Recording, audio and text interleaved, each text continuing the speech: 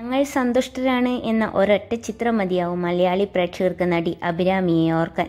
കഥാവിശേഷൻ എന്ന ചിത്രത്തിൽ ബാലതാരമായിട്ടായിരുന്നു അഭിരാമിയുടെ സിനിമയിലേക്കുള്ള വരവ്. തുടർന്ന് പത്രം സിനിമയിൽ ചെറിയൊരു വേഷത്തിലെത്തിയ താരം പിന്നീട് ഞങ്ങൾ സന്തുഷ്ടരാണ് ശ്രദ്ധ മില്ലേനിയം സ്റ്റാർസ് തുടങ്ങിയ ചിത്രങ്ങളിലൂടെ ശ്രദ്ധ നേടുകയായിരുന്നു. അതിനിടെ ഏഷ്യാനെറ്റിൽ ടോപ്പ് ടെൻ എന്ന പരിപാടിയിൽ അവതാരകയായും അഭിരാമി പ്രേക്ഷകർക്ക് സുപരിചിതയായി മാറിയിരുന്നു. മലയാളത്തിന് പുറമെ തമിഴ് തെലുങ്ക് കന്നഡ ഭാഷകളിലെല്ലാം അഭിരാമി അഭിനയിച്ചിട്ടുണ്ട്. മലയാളത്തിൽ മോഹൻലാൽ സുരേഷ് ഗോപി ജയറാം എന്നിവരോടൊപ്പമൊക്കെ സ്ക്രീൻ പങ്കിട്ടിട്ടുള്ള അഭിരാമി തമിഴിൽ പ്രഭു ശരത്കുമാർ അർജുൻ എന്നീ പ്രമുഖ നടന്മാരുടെ കൂടെയെല്ലാം അഭിനയിച്ചിരുന്നു. വാനവിൽ ആയിരുന്നു അഭിരാമിയുടെ ആദ്യത്തെ തമിഴ് ചിത്രം. തന്റെ കരിയറിലെ ഒരു പ്രധാന ചിത്രങ്ങളിൽ ഒന്നായ വീരുമാണ്ടിയിൽ കമലഹാസന്റെ കൂടെയാണ് അഭിരാമി തിളങ്ങിയത്. ഏറ്റവും ഒടുവിൽ നിതം ഒരു വാനം എന്ന ചിത്രത്തിലാണ് അഭിരാമി അഭിനയിച്ചത്. അടുത്തിടെയായി മലയാളത്തിൽ ചില ടെലിവിഷൻ പരിപാടികളിൽ അതിഥിയായി അഭിരാമി എത്തിയിരുന്നു.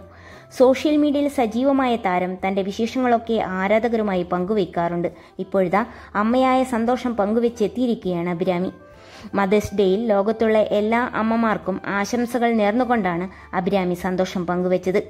കഴിഞ്ഞ വർഷമായിരുന്നു ആ സന്തോഷം ഞങ്ങളുടെ ജീവിതത്തിൽ വന്നു ചേർന്നത് എന്ന് പറഞ്ഞുകൊണ്ടാണ് അഭിരാമി സോഷ്യൽ മീഡിയയിൽ വിശേഷം കുറിച്ചത്.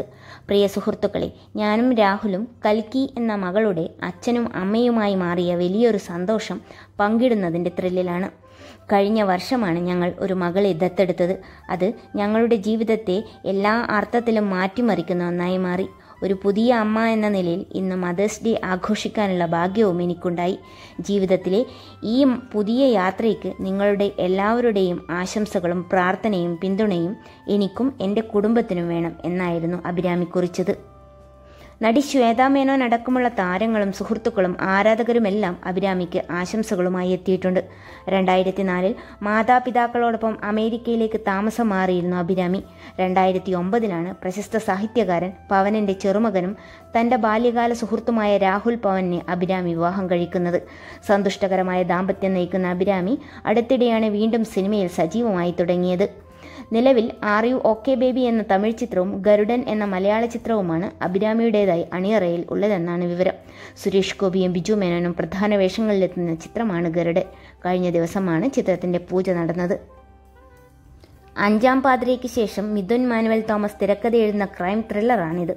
നവാഗതനായ അരുൺ വർമ്മയാണ് ചിത്രം സംവിധാനം ചെയ്യുന്നത്. ലിസ്റ്റിൻ സ്റ്റീഫനാണ് നിർമ്മാണം.